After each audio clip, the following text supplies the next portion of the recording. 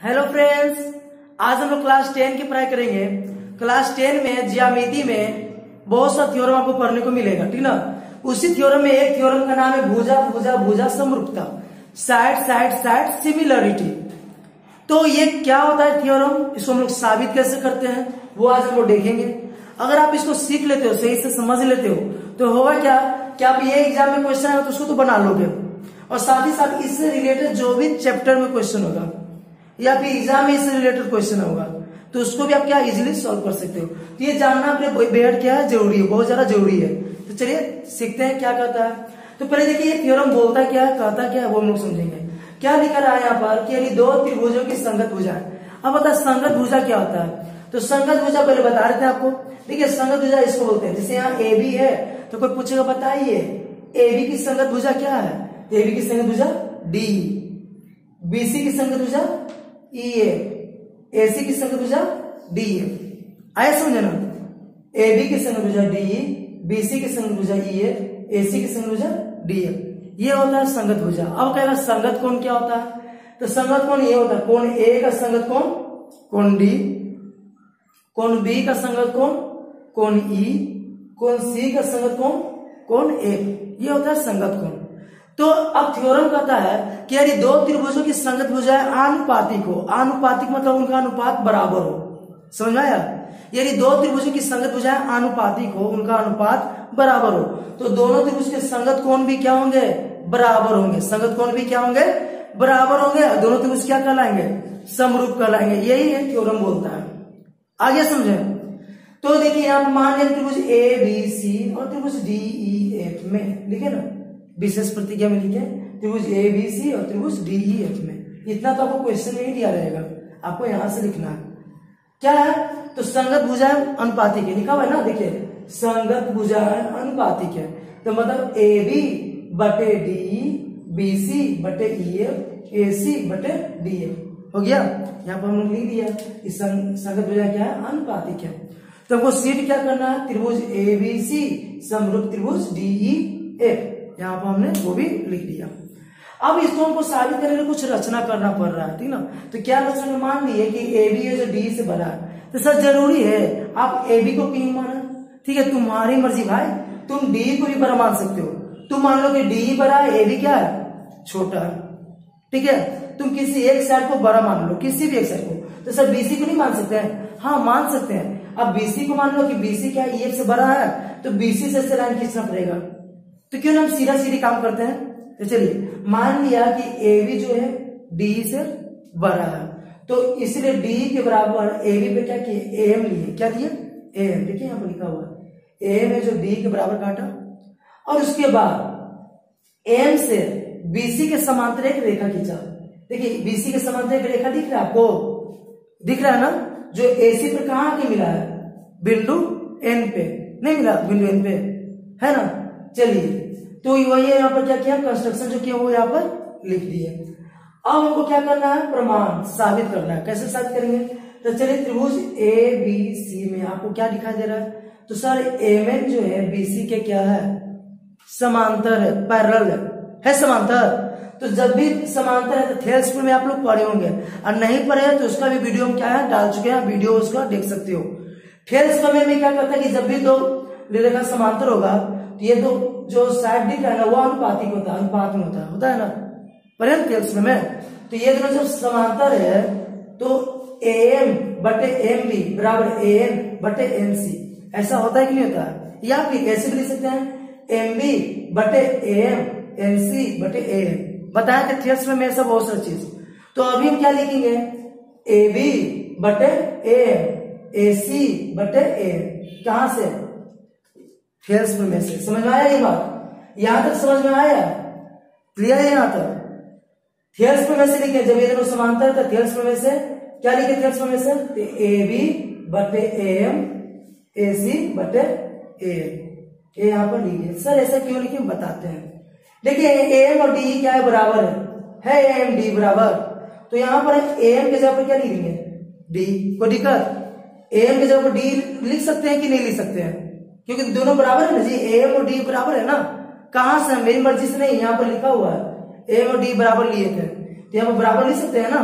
अब ए बी बटे डी का मान देखिए यहाँ पर क्या है। बीसी बटा एफ़ ए सी बटा डी तो यहाँ एसी वाला है ना? तो एसी वाला कौन है? ये वाला ना? एसी बटे डी तो यहाँ पर वही दिए ए बी बटे डी ए सी बटे डी एफ़ बराबर है। है ना बराबर? अब यहाँ पर देखिए ए बी बटे डी ए सी बटे डी एफ़ के बराबर। ए बी बटे डी ए सी बटे एन के बराबर। तो दोनों का एल एच एस बराबर तो आर एच एस भी बराबर। तो आर एच एस बराबर किए तो ए सी बटा ए एन ए सी बटा डी एफ़ अब ए सी से ए सी कैंसिल हो जाएगा क्या ऐसे हो जाएगा ना? तो क्या बचेगा? ए एन और डी एफ़ बराबर।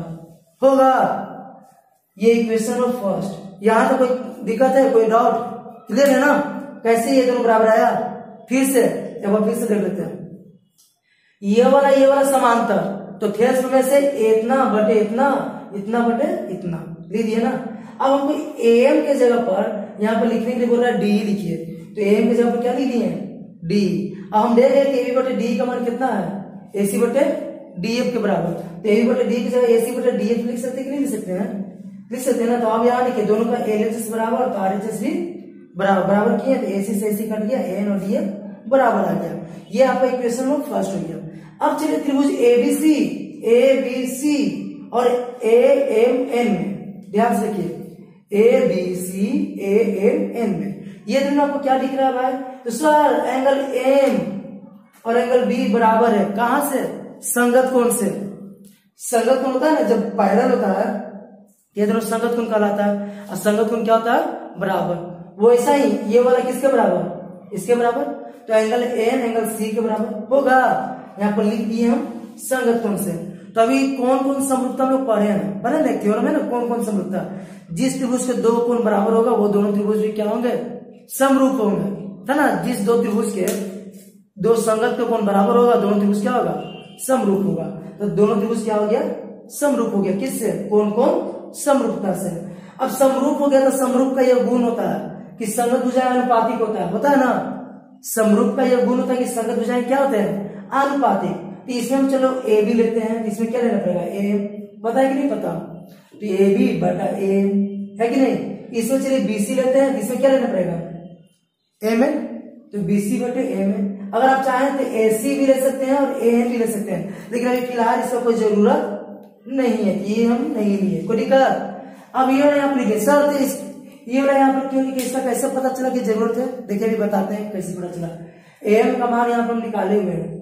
क्या है? डी तो हमको एम तो निकालना ही पड़ेगा ना? तो एम लेने के लिए हमको क्या लेना पड़ेगा? ए भी लेना पड़ेगा कि नहीं लेना पड़ेगा? ए भी लेंगे तभी ना एम आएगा, जी। आएगा ना? एम क्यों लेंगे? क्योंकि एम का मान यहाँ पे कितना है? डी एम पे जब क्या पुट कर देंगे? डी और ए बी बटे डी का मान हम देखे हुए हैं कि क्या है? बीसी बटा ई ए सी बटा डी है तो अभी यहाँ पर कौन वाला है? बीसी वाला है ना? तो बीसी वाला पार्ट कौन है? ये कि ये? ये वाला लिख देंगे यहाँ पर। कैसे यहाँ पर एसी वाला लिख हैं? सेम यही प्रोसेस यहाँ पर चल रहा है। देखने में लंबा लग रहा है, लेकिन यही प्रोसेस यहाँ पर चल रहा है कि चल रहा है। यहाँ पर हम चले थे कौन वाला? एसी वाला तो यहाँ पर चलेंगे कौन? बीसी वाला। बीसी वाला ये है ना जी? ये वाला यहाँ पर हम लिख दिए।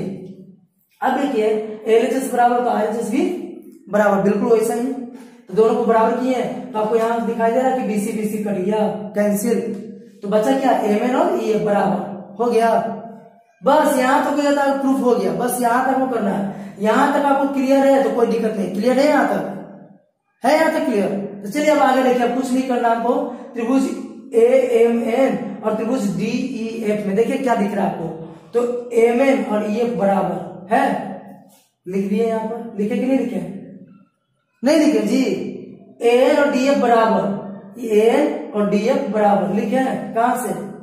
यहाँ से। और एम और डी बराबर तो पहले से हम लिए हुए हैं। लिए हुए हैं। तो जिस त्रिभुज का तीनों भुजाएँ बराबर हो तो भुजा भुजा भुजा, सर्वांग समता, ये नौवा क्लास में एक थ्योरम है। नाइन्थ क्लास में एक थ्योरम है, भुजा भुजा भुजा, सर्वांग समता से। दोनों त्रिभुज क्या हो गए? सर्वांग सम। और सर्वांग सम त्रिभुज से सभी कोण बराबर होते हैं? सभी भुजा भी बराबर होते हैं। भुजा तो देखिए ना कि बराबर है? तो सब कोण भी क्या होंगे? बराबर। तो सब कोण बराबर? तो एंगल ए किसके बराबर? बी के बराबर। होगा? एंगल एम किसके बराबर? ई के बराबर होगा। एंगल एम किसके बराबर? एफ़ के बराबर। लेकिन हम तो क्या जानते हैं एम किसके बराबर है? बी के बराबर ना? तो यहाँ लिख एम किसके बराबर है? बी के बराबर। कहाँ से जी? यहाँ से जी, देखिए ना एम बी के बराबर एम सी के बराबर है। एम किसके बराबर? बी के बराबर। और एम किसके बराबर है?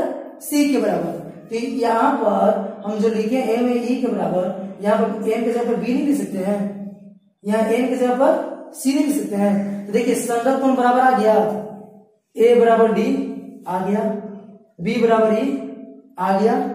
और सी बराबर ए आ गया ना। तो जिस त्रिभुज के, जिस दो त्रिभुज के क्या होगा तीनों कोण संगत कोण बराबर होगा? अब भुजाएँ अनुपातिक होगा, उसी तो बोलते हैं समरूप त्रिभुज। समरूप त्रिभुज का यही तो लक्षण है। समरूप त्रिभुज का गुण यही है। समरूप त्रिभुज किसे कहते हैं? तो उन त्रिभुजों को समरूप त्रिभुज बोलेंगे, जिसके संगत भुजाएँ क्या होगा? अनुपातिक होगा और संगत कोण क्या होंगे? बराबर होंगे। इस प्रकार से त्रिभुज एबीसी समरूप त्रिभुज डीए प्रूव इस प्रकार से हम लोग क्या कर सकते हैं? साबित कर सकते हैं। फिर से बार समझ लीजिए क्या करना। करना क्या है कि आपको एक भुजा को इससे बड़ा मान लेना। मान लिया ना? अब इसके बराबर इसको ले लिए और समांतर खींच लिए। तो त्रिभुज इसमें देखिए क्या दिख रहा है? ये ये समांतर है ना? तो आपको ये दोनों समांतर है तो थेल्स में से इतना बटे इतना इतना बटे इतना लिख देना है। लिख दिए। अरे एम के जगह पर यहाँ से वैल्यू पुट कर देना पुट कर दिए। अरे ए बी बटे डी का मान यहाँ पर दो को है। लेकिन चलेंगे कौन वाला? एस सी है यहाँ पर लिखा हुआ ना तो चलेंगे कौन वाला? ए सी वाला एस वाला ये है ना? ये वाला यहाँ पर पुट करेंगे, दोनों को काटेंगे तो एक वैल्यू यहाँ पर आ गया। आ गया ना? अब चलेंगे त्रिभुज इसमें ए एम एन में, ठीक ना? और त्रिभुज चलेंगे ए बी सी में। दोनों में आपको दिख रहा है कि ये कौन इसके बराबर, ये कौन इसके बराबर। ऐसे भी एंगल ए भी एंगल ए के बराबर वही आप चाह तो लिख सकते हो। हम तो नहीं लिखे हैं, आप चाहे तो लिख सकते हो। चाहे तो यहाँ पर ऐसे लिख सकते हो कि एंगल ए बराबर एंगल ए कहा से? उभय उभय नहीं है, जी कॉमन नहीं है। एंगल है इसमें भी है छोटका में भी और बड़का में भी। जब आप तीनों लिखिएगा तो यहाँ पर कौन कौन कौन समरूपता लिख दीजिएगा, क्या लिख दीजिएगा? कौन कौन कौन? लिखा अगर दो को सब चल रहे हो तो सिर्फ़ लिखिएगा कौन कौन? अगर तीनों लिखे चलिए तो क्या लिखेंगे? कौन कौन कौन? समरूपता से। ये दोनों त्रिभुज क्या हो गए? समरूप हो गए। हो गए समरूप। तो ये दोनों त्रिभुज जब समरूप हो गए तो हम जानते हैं कि संगत भुजा अनुपातिक होते हैं। तो हम ले लेंगे इसको बट्टा में कैसे? इसमें अगर लेते हैं ए बी तो इसमें क्या लेना पड़ेगा हमको? एम। फिर इसमें अगर ले लेते हैं, मान लीजिए क्या लेते हैं? बीसी लेंगे तो इसमें हमको लेना पड़ेगा एम एम। तो क्यों से इला क्यों लेंगे पहले ले चुके हैं यहाँ पर। ले चुके हैं ना पहले जी? तीसरे इसमें लिया अभी कौन? बीसी और एम ए को दिक्कत? अब यहाँ पर देखिए एम का वैल्यू वहाँ से फिर से पुट कर दिए डी ए बी बटे डी का मान यहाँ पर दो चीज़ है। यहाँ बीसी वाला है तो बीसी वाला यहाँ से पुट कर दिए। बीसी से बीसी कट गया एम एन बराबर ये आ गया। अब चल, चलेंगे त्रिभुज इसमें और इसमें। इसमें इसमें देखिए ये वाला भूजा इसके बराबर आ गया ये वाला इसके बराबर ये वाला इसके बराबर। तो भूजा भूजा भुजा सर्वांग समझा से दो त्रिभुज सर्वांगसम हो गए। और सर्वांगसम त्रिभुज का सभी कोण क्या होते हैं? बराबर होते हैं। तो सभी कोण यहाँ पर लीजिए बराबर। एंगल ए डी के बराबर एम ई के बराबर एम एफ़ के बराबर। लेकिन एम तो है बी के बराबर ना? यहाँ पर देखिए एन एस सी के बराबर ना? तो एम के, और एम के जगह वैल्यू पुट कर दिए तो इस प्रकार से क्या हो गया? आपका समरूप त्रिभुज साबित हो गया। तो चलिए, अब अगले वीडियो में मिलेगा कुछ नए टॉपिक के साथ। आज के इतना ही, रह लेते हैं। Thank you